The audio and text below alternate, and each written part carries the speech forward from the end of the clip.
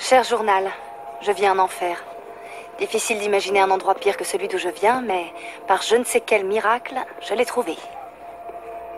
Ça fait une semaine que je suis là et j'ai constaté trois choses. La nourriture est toxique au sens propre du terme, l'air est irrespirable, et tout le monde veut savoir ce que tout le monde fait. Je n'ai pas ma place ici, et je n'ai pas envie de m'adapter. Ce monde n'est pas celui dont j'avais rêvé. Oh non, c'est pas vrai C'est pas vrai T'as vu ce que t'as fait Quoi Mais je pensais pas qu'elle allait traverser Il faut appeler les secours Appelle les secours Dépêche-toi Tais-toi une seconde, je réfléchis.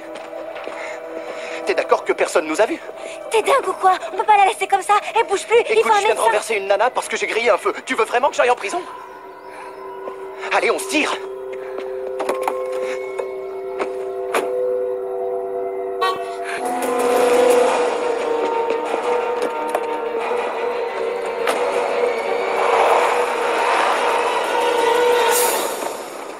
Comme je le disais, c'est l'enfer, purement et simplement.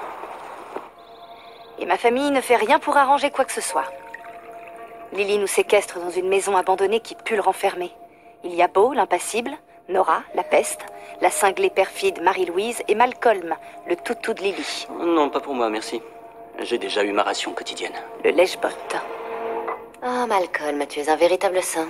Oh, Tout ça est ridicule. C'est vrai.